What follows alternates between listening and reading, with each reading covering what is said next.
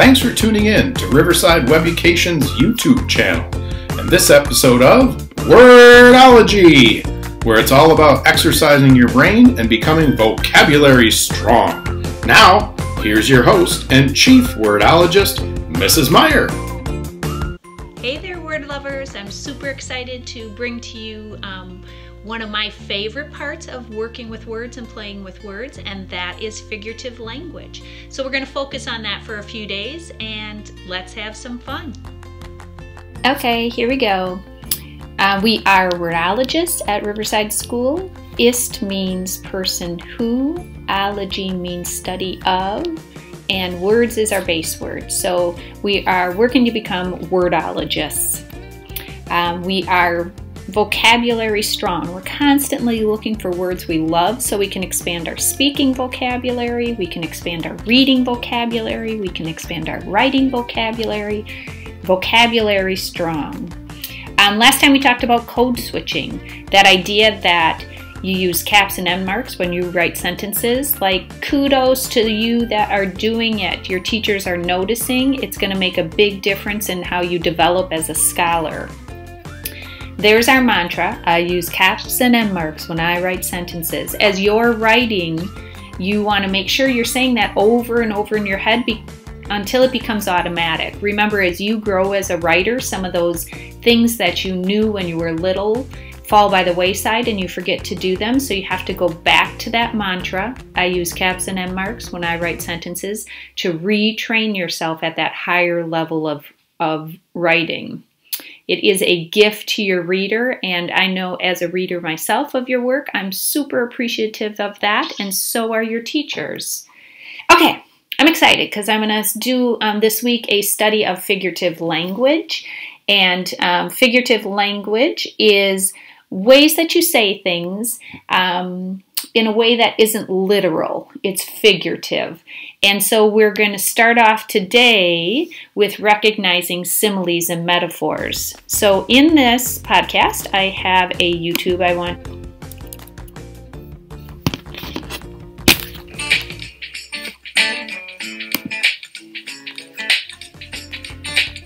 So, recognizing the difference between a simile and a metaphor. We're working to see if we can do that. So a simile is where two things are directly compared and as or like is usually used to make that comparison. He was as tired as Sleeping Beauty, and it's saying that the boy and Sleeping Beauty were not literally the same, but figuratively tired. Metaphor, metaphor also compares two things, but it doesn't do it as directly. It doesn't use as or like.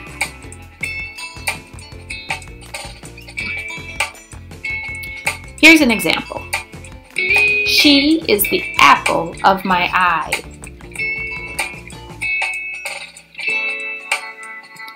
Do you think you can tell if the following sentences use a simile or a metaphor?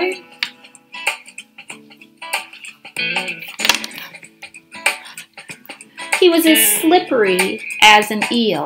Is that a simile or a metaphor? Need a hint? There's the word as to make your comparison. So that's a simile. He was a lion in battle. Simile or metaphor?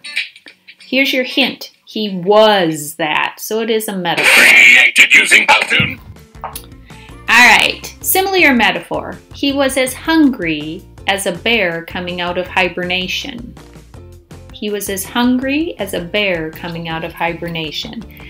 That is a simile because it uses him and the word as to make that comparison. It didn't say he was a bear coming out of hibernation, it's saying he was as hungry as a bear. You have to be careful just because it uses the word like or it uses the word as doesn't mean it's a simile. It has to be used in that comparison.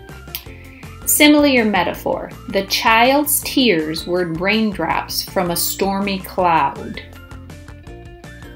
Now, in this case, it says the child's tears were that. It could be were, it could be was, it could be is, any form of that verb, but it's saying that his tears were raindrops from a stormy cloud. It's speaking figuratively Um, but that's a metaphor because it makes its comparison to something else without using like or as. You might recognize this song.